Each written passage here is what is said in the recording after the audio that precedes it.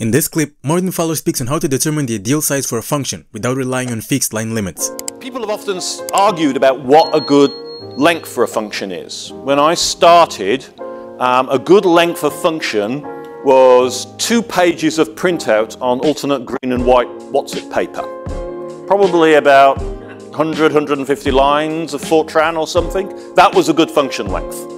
Later on it became what would fit onto one screen.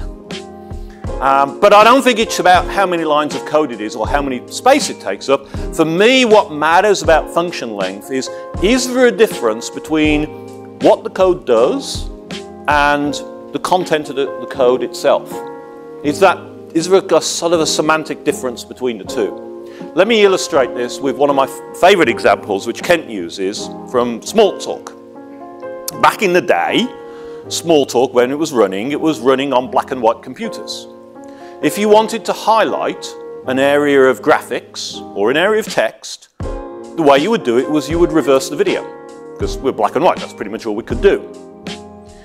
If you look in the Smalltalk code system, there is a method for highlighting an area of graphics, and it says reverse. Notice the word highlight is longer than the word reverse. The implementation is actually shorter than the, than the function name itself. But the function name tells you what your intention is. I want to highlight. It just happens to be highlighting it by reversing the video. It's that distance between your intention and how you're going to implement that intention that leads you to want to make a function. Whenever you have that distance, you want to capture it, even if the implementation is shorter than the statement of intention, which is very rare, obviously, because you can usually get it in a word or so. And that can be really critical. I don't know how many times that has really helped me. Because when you do need to change the implementation, you can do that without changing, trying to find all the places it needs to change. While Martin Fowler talks about focusing on intent instead of line count as a deciding factor for when to break down a function, Uncle Bob comes with more specific advice. Keep functions 5 to 10 lines long. So which one is it? Should we break down functions when there's a gap between what the code is doing and how it's implemented? Or should we just stick to small bite-sized blocks of code? At first glance, these two approaches may seem to be mutually contradicting. Fowler's advice may feel too vague to apply consistently, while Uncle Bob's rule too rigid to fit in every situation. One is subjective, the other one is simplistic. But maybe the real problem is treating either of them like a rule, because neither line count nor semantic intent can cover every case, and neither should be followed blindly.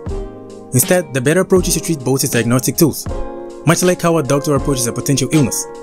If a function is long, let's say over 10 lines, that's a symptom. If there's a gap between what the code does and what it says, that's another symptom. Maybe there's a missing abstraction. Maybe a concept needs a name. But just like how a fever isn't always serious, a long function or a vague name doesn't always mean something is wrong. But there's definitely something to be said when multiple diagnostic tools point to the same problem. Thoughts? Subscribe for more.